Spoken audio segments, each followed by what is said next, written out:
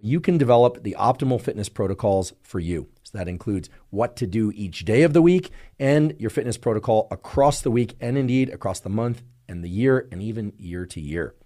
When we had Dr. Andy Galpin on the podcast, he said something very important that we want to keep in mind today, which is concepts are few, methods are many. That is, there are an infinite number of different programs and exercises and set and rep schemes and different runs and burpees and push-ups, et cetera, et cetera, that one can follow. However, there are really just a few basic concepts or principles of muscle physiology, of cardiovascular function, of connective tissue function that provide or set the basis for the adaptations that we call fitness or that lead to fitness. So I'm going to list those off now. We can talk about a fitness protocol that's really aimed mainly toward developing skill. That's one. Or speed. That's another. Or power, which is speed times strength. Or specifically strength. Or hypertrophy, growth of muscles. Or endurance, such as muscular endurance. Muscular endurance is, for instance, your ability to stay in a plank position or to do a wall sit, you know, to sit on an invisible chair against a wall. Or other forms of endurance like near pure anaerobic endurance. So a one minute sprint or less, or a one minute all out cycling on a stationary bike, this sort of thing. Or endurance that occurs in the kind of three to 12 minute total duration range. So that might be sprints or high intensity interval type training. It could be a all out swim. It could be all out row. That's another form of endurance. Taps into different fuel systems, different aspects of muscle physiology, et cetera. And then endurance that lasts 30 minutes or more, which is typically what people think about when they think about endurance. But of course, the other forms of endurance matter. So we've got skill, speed, power, strength hypertrophy, muscular endurance, anaerobic endurance, what I would call three to 12 minute endurance, although it goes by other names as well, and 30 minutes or more endurance type exercise and adaptations. Each and every one of these requires different principles, different concepts in order to improve, say, your muscular strength or your hypertrophy or both. However, there's a general theme that sits beneath all adaptations leading to fitness. And that's what we're really going to set down as the base layer, the foundation of everything we talk about today. And that's that we need to think about what are the modifiable variables. Again, I'm borrowing directly from the episode with Dr. Andy Galpin. He was the one that said modifiable variables are the key thing to think about. What are you going to modify? What are you going to change in order to increase one or some of the various things I listed off before skill, speed, power, strength, hypertrophy, endurance, et cetera, et cetera. And some of the key concepts that emerge from that discussion are that we need to think about progressive overload. Normally, when people hear about progressive overload, they think about adding more weight to a bar or picking up heavier dumbbells, but that could also be progressive overload in the context of running up a hill of steeper incline or running a little bit faster or a little bit further, and so on and so forth. Now, as I promised earlier, today we are not going to drill into each and every one of the mechanisms that underlie the different adaptations that are going to develop speed and strength and endurance, et cetera because that was covered in the podcast with Dr. Andy Galpin and the other podcasts with experts that I mentioned earlier. And we, again, will provide links to those podcasts if you want to drill into those mechanisms.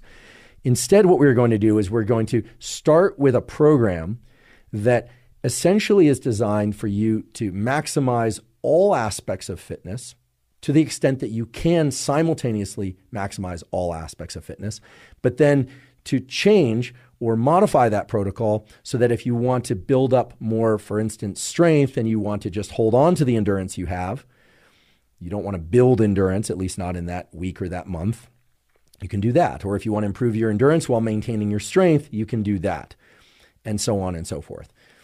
Most people, I do believe, would like a combination of strength and endurance and flexibility and maybe even hypertrophy, particularly for certain muscle groups that maybe are not as well developed as other muscle groups. They want to bring balance to their physique, both for sake of aesthetics and for sake of health and for sake of you know general functioning, to maybe even to eliminate pain.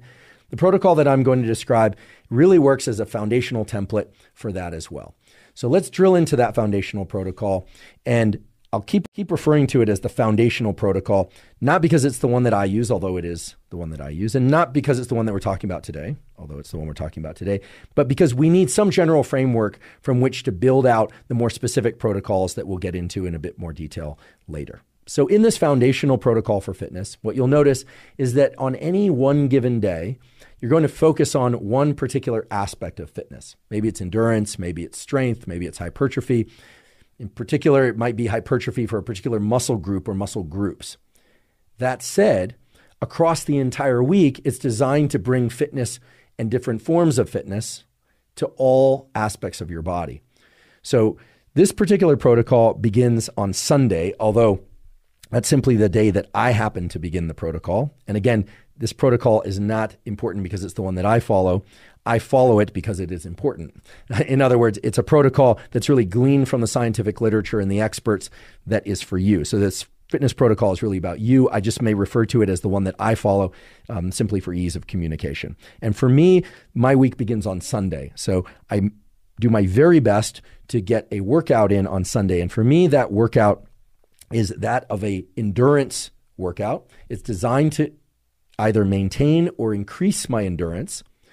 And the endurance type that I'm referring to is endurance of 30 minutes or more. In fact, for me, the goal is always to get either 60 to 75 minutes of jogging. So this would be so called zone two cardio. People probably have heard of zone two cardio, but if you haven't, that's okay. Zone two cardio is something that you could measure with a heart rate monitor or other device, but you don't need to. Zone two cardio is the kind of cardiovascular exercise in which you're pushing yourself to move such that you're breathing faster than normal, your heart is beating faster than normal. However, you are still able to sustain a conversation. But if you were to push yourself any harder, that is, move faster or go up a steeper incline at the same rate you happen to be at any one moment, you would lose that ability to speak. You wouldn't be able to complete sentences. You would be out of breath or you'd have to pause mid sentence. Now, it's near impossible, even with a heart rate monitor, to stay exactly in zone two unless you're very, very skilled at that. So I don't obsess over that. And in fact, I don't wear a heart rate monitor when I do this exercise. But for me, the goal is to head out on Sunday and get 60 to 75 minutes of jogging in zone two. Now, of course, I like to jog, but that doesn't mean that you have to jog. You could replace jogging with rowing on a rowing machine, or maybe even rowing an actual boat if you have access to that, or cycling or swimming, something that allows you continuous movement for 60 to 75 minutes at that zone two threshold we talked about earlier. For me, that can include some hills. And when I say hills, they could be very steep hills, but I'll simply slow my pace down in order to stay in that roughly zone two range. Or it could be that they are more low grade hills and I might, you know, just slow down a little bit, or I might even push myself a tiny bit that day. But really, I'm just trying to build that long endurance. I'm trying to build up my capacity or maintain my capacity to go a long distance without fatiguing.